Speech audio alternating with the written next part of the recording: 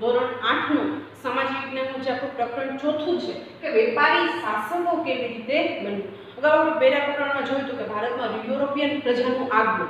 ખરેખર એ લોકો વેપાર કરવા માટે આપણા ભારત દેશમાં આવ્યા હતા. પણ એ શાસકો શું કામે બની ગયા? એ બાબતની આખા આખા પાઠમાં માહિતી આપેલી છે. તો સૌથી પહેલું આપણે પ્રસ્તાવનાથી શરૂઆત કરીએ તો અઢારમી સદીના અંતમાં ભારતના રાજનૈતિક સ્થિતિ ઉપર અંગ્રેજો એક એવી રાજશક્તિ તરીકે ઉભરાવા લાગ્યા અંગ્રેજો ભારતમાં માત્ર વ્યાપાર કરવા આવ્યા હતા. મેં તમને એમ કીધું, મેં તમને હમણાં જ કીધું કે અંગ્રેજો છે ખરેખર આપણા ભારતમાં વેપાર કરવા માટે આવ્યા હતા. એ આપણા ભારત ઉપર શાસન કરવા માટે આવ્યા નહોતા. હતા શરૂઆતમાં અંગ્રેજોએ ભારતીય પ્રદેશોમાં વેપાર કરવાની સત્તા મેળવવાની હતી. શરૂઆતમાં એ લોકો શેના માટે આવ્યા? તો કે વેપાર કરો તો એની પરવાનગી મળીને એ લોકો વેપાર કરતા હતા. તો પછી તેઓ આખા ભારતના શાસક કેવી રીતે બની ગયા? આવી તો અનેક બાબતો અંગ્રેજ શાસન સાથે જોડાયેલી છે. મૂળ તો તેને તેનો વેપાર વધારવો હતો. આથી સરળતા માટે રાજકીય વર્ગ વધારવા તેને અંગ્રેજ રાજનીતિ અપનાવી હતી. એનું મૂળ કામ શું હતું? તો કે એનો વેપાર વધે એના માટેના એ પ્રયત્નો કરતા હતા. એના કારણે શું કર્યું? તો કે રાજકીય વર્ગ છે. બરાબર? એ રાજકીય વર્ગમાં એનો વધારો કર્યો. તો આ પ્રસ્તાવના હતી કે ભાઈ એ શું કામે આપણા દેશના શાસકો બની ગયા? વેપારીમાંથી શાસકો શા માટે બન્યા? હવે સૌથી પહેલું જે છે એ છે વેલેસ્લીની વિસ્તાર યોજના. બરાબર? હવે અહીંયા આપણે જોઈએ કે ભાઈ એ વેપારીમાંથી શાસકો શા માટે બન્યા? તો સૌથી પહેલું વેપાર વેલેસ્લીની વિસ્તાર યોજના છે. વેલેસ્લી ગવર્નર જનરલ બનીને ભારત આવ્યો ત્યારે ઇંગ્લેન્ડ અને ફ્રાન્સ વચ્ચે તીવ્ર હરીફાઈ ચાલતી હતી. હવે એ લોકો છે ને ગવર્નરને અ, અંગ્રેજ લોકો હતા ને ગવર્નરને નીકળતા. તો એ સમયમાં વેલેસ્લી જે છે વેલેસ્લી નામનો ગવર્નર છે, એ ભારતમાં આવ્યો. અને એ સમય શું હતું તો કે ઇંગ્લેન્ડ અને ફ્રાન્સ જે છે, એ બંને દેશો વચ્ચે તીવ્ર હરીફાઈ જે છે, એ હરીફાઈ ચાલતી હતી. ભારતમાં ફ્રેન્ચો તાકાતવર ન બને તે માટે ભારતના દેશી રાજ્યોમાં અંગ્રેજ સત્તાનો પગ પેશારો કરવા વેલેસ્લીએ એક યોજના બનાવી હતી.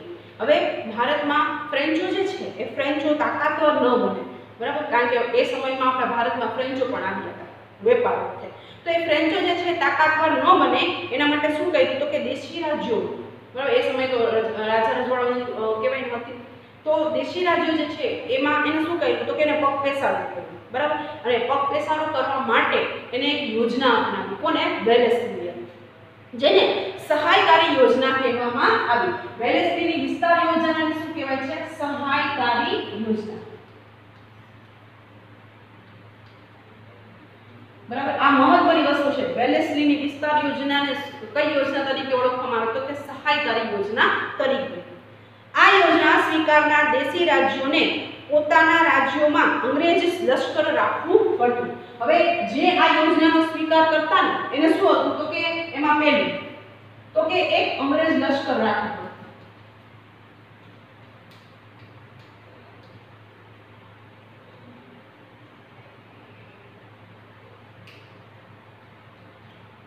પોતાનું તો લશ્કર ખરી જ, પણ સાથે સાથે એને એક અંગ્રેજ લશ્કર પણ રાખવું પડતું. સૈન્યનો ખર્ચ જે તે દેશી રાજ્યો ઉપાડતો હતો. હવે આ અંગ્રેજ લશ્કર હતા, બરાબર? એનો ખર્ચ પાછો કોને ઉપાડવાનો? કે જે તે દેશી રાજ્યો. તો અંગ્રેજ લશ્કરનો ખર્ચ.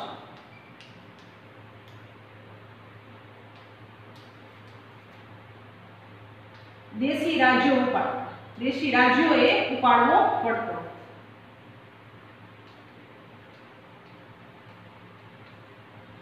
સહાયકારી યોજનામાં, યોજના એટલે એની અંતર્ગત કઈ કઈ વસ્તુઓનો સમાવેશ થાય છે એ હું અહીંયા લખું છું. આ સાથે દરેક દેશી રાજ્યમાં એક અંગ્રેજ પ્રતિનિધિ રહેતો. હવે એની સાથે સાથે એક અંગ્રેજ પ્રતિનિધિ પણ રાખવાનો. એક અંગ્રેજ પ્રતિનિધિ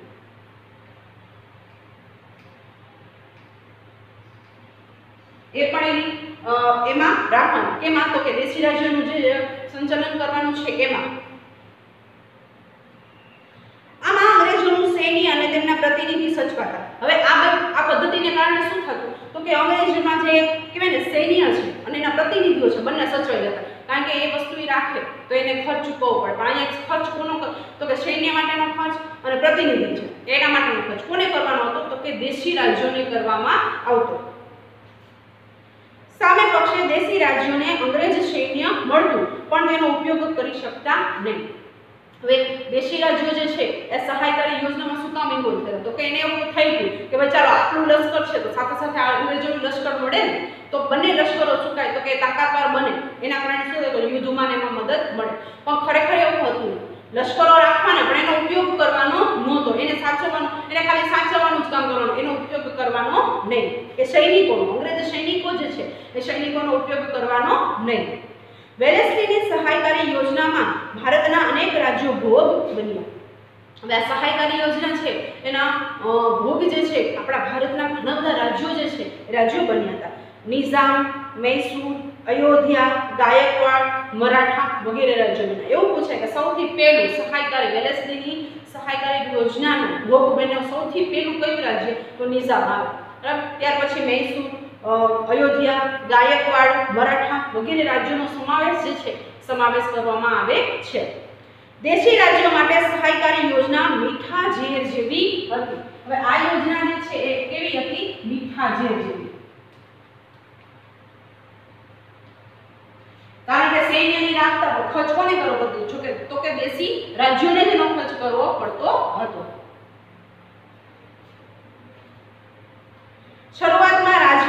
સલામતી અને મદદ દેખાતી, પરંતુ ધીરે ધીરે વાસ્તવમાં તો તે ગુલામીનો જ અનુભવ કરતા હતા. કારણ કે એક પ્રતિનિધિ પણ બરાબર? અને લશ્કર પણ તો શરૂઆતમાં જે તે રાજ્યોના રાજાઓ હોય એવું થયું કે ઓહો, આ તો સારું કહેવાય એમ. પણ ધીમે ધીમે ધીમે ધીમે એને ખ્યાલ પડવા માંડ્યો કે આ તો આપણે ગુલામી તરફ ધકેલાવા ધકેલવા માંડ્યા છીએ. વેલેસ્લીની આ વિસ્તાર યોજના સહાયકારી યોજનાનો પ્રથમ શિકાર હૈદરાબાદ રાજ્યનો નિઝામ બન્યો હતો. પ્રથમ શિકાર કોણ બન્યો હતો? તો કે હૈદરાબાદનો નિઝામ. સૌથી પહેલી આ યોજના સ્વીકારેલી હતી કોને?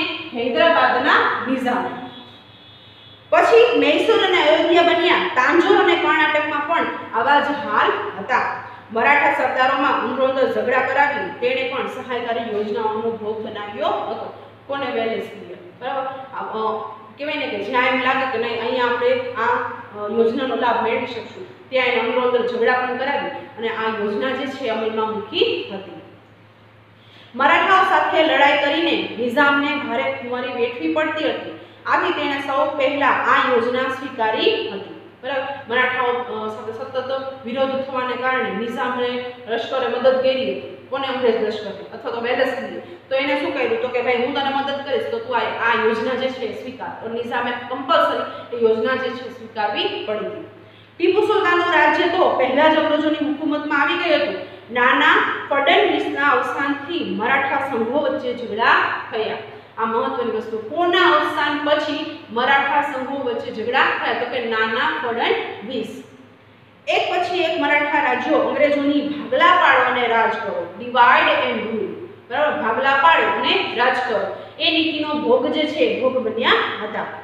અયોધ્યા, ગોરખપુર, તાંજોર, કર્ણાટક, ફરુખાબાદ વગેરે એક યા બીજા બહાને ખાલસા થયા હતા. ખાલસા એટલે ખાલી કરી નાખવાનું. પોતાનું રાજ્ય જે છે, એ રાજ્ય ખાલી કરી નાખવાનું અને અંગ્રેજોને સોંપી દેવાનું. આમ સાત વર્ષના ગાળામાં વેલેસલીએ કંપનીનો વિસ્તાર કરી અંગ્રેજ સત્તાને આ યોજના દ્વારા સર્વોપરી બનાવી. માત્ર ને માત્ર કેટલા વર્ષમાં? તો કે સાત જ વર્ષમાં. બરાબર? સહાયકારી યોજના, સૌથી પહેલી યોજના હતી સહાયકારી યોજના. એ યોજના દ્વારા ભારતના રાજ્યોમાં પોતાનો પાયો જે છે, એ પાયો સ્થાપ્યો હતો. ત્યાર પછીનો મુદ્દો જે છે, એ છે બ્રિટિશરો સમગ્ર, બ્રિટિશરોને જે હતા એ સમગ્ર ભારતમાં કઈ રીતે ફેલાયા? બેલેસ્તીની વિસ્તાર યોજનાનો ભોગ મૈસૂર, નિઝામ અને મરાઠા સરદારો બન્યો. પછી અંગ્રેજો ઉત્તર તરફ આગળ વધ્યા. ઉત્તર તરફ આગળ વધ્યા. નેપાળમાં ભય જણાતા તેમની સાથે મિત્રતા બાંધી. અંગ્રેજોએ શું કહ્યું તો કે નેપાળમાં ઉત્તર તરફ આગળ વધ્યા અને નેપાળમાં એને ભય જણાવ્યું તો એને શું કર્યું કે પહેલાં મિત્રતા બાંધી દીધી. ત્યાર પછી અંગ્રેજોએ સરહદ ઉપર સંગ્રામ ખેલ્યો. જે બાઉન્ડ્રીઝ હતી, ત્યાં એને શું કર્યો? સંગ્રામ ખેલ્યો. શીખ મહારાજા રણજીતસિંહ સાથે મિત્રતા બાંધી અફઘાન વિગ્રહમાં જીત મેળવી હતી. શીખ આ પણ બહુ મહત્વની વસ્તુ છે. એક શીખ સરદાર હતા. કોણ? મહારાજા રણજીતસિંહ. બરાબર? શીખ સરદાર કોણ? મહારાજા રણજીતસિંહ. એમની સાથે કયા અફઘાન વિગ્રહ માં એમને રણજીતસિંહે મદદ કરી હતી અને એ- વિગ્રહમાં અફઘાન વિગ્રહમાં એમને જીત હાંસલ કરી હતી. સિંહમાં પણ સત્તા સ્થાપી શીખોની વધતી જતી તાકાત જોઈ અંગ્રેજોએ શીખ સામ્રાજ્ય હડપવાની કોશિશ કરી. શીખો તાકાતવાર હતા, બરાબર? તો એને જોયું અંગ્રેજો કે આ શીખ જે છે ખૂબ જ તાકાતવાળા છે બરાબર? તો એને શું કર્યું તો કે એ લોકોના જે વિસ્તારો છે એ વિસ્તારોને એને જીતવાની કોશિશ કરી. તો એ શીખો જે છે એ પોતાની અંતર્ગત આવી જાય ને એટલે પણ જ્યાં સુધી પંજાબમાં રણજીતસિંહનું રાજ્ય હતું, ત્યાં સુધી તેમાં તેમને સફળતા મળી નહોતી. પણ જ્યાં સુધી રાજા, મહારાજા રણજીતસિંહ જે છે, પંજાબમાં શાસન કરતા હતા, ત્યાં સુધી અંગ્રેજો એમાં સફળતા મળી નહોતી. આથી મહારાજા રણજીતસિંહ સાથે દોસ્તી નાખી દીધી. જો એને જ્યાં બેનિફિટ દેખાતો ને, ત્યાં એની સાથે દોસ્તી કરી લેતા. રણજીતસિંહ એ એ સમયમાં શક્તિશાળી શાસક હતા. તેમણે રાજ્યના રક્ષણ માટે યુરોપિયન અફસરોની મદદથી મજબૂત સેના ઊભી કરી હતી. પોતાના શીખ સંપ્રદાયો હતા, બરાબર, શીખ શીખ રાજ્યો હતા. એને કહેવાય ને કે એની રક્ષા કરવા માટે, એનું રક્ષણ કરવા માટે એને જે યુરોપિયન અફસરો હતા, એ યુરોપિયન અફસરોની મદદ મેળવી હતી. કોને? રણજીતસિંહે. આસપાસના મોટાભાગના પ્રદેશો ઉપર તેમણે વિજય મેળવ્યો હતો. કોને? રણજીતસિંહે. એના આસપાસના જે કંઈ પણ પ્રદેશો હતા ને, એના પર પણ એમણે વિજય મેળવી લીધો હતો. તેમના અવસાન પછી પછી પંજાબમાં અરાજકતા વ્યાપી હવે રણજીતસિંહ અવસાન પામ્યા, પછી શું તો અરાજકતા વ્યાપી ગઈ રણજીતસિંહ જીવ્યા ત્યાં સુધી પંજાબના વહીવટમાં અંગ્રેજો માથું મારવાની હિંમત કરી શક્યા ન હતા, કારણ કે શક્તિશાળી રાજા હતા. બરાબર? તો એ મહારા, રણજીતસિંહ જ્યાં સુધી જીવ્યા, ત્યાં ત્યાં સુધી અંગ્રેજો એમાં દખલગીરી ન કરી. ખાલી દોસ્તી રાખી, પણ દખલગીરી કોઈ જાતની કરી નથી હવે તેમને ગઈ હાર્ડિજ ગવર્નર તરીકે ભારતમાં આવેલા આવતા તેમણે શીખ સંપ્રદાયને ભેદભાવની નીતિથી અંગ્રેજ શાસન નીચે લાદી દીધું. મહારાજા રણજીતસિંહ જે છે એ જ્યારે અવસાન પામ્યા, બરાબર, પછી અરાજકતા ફેલાઈ ગઈ, તો ત્યાર પછી વેલેસની પછી હાર્ડિજ બરાબર હાર્ડીજ કરીને ગવર્નર આવ્યો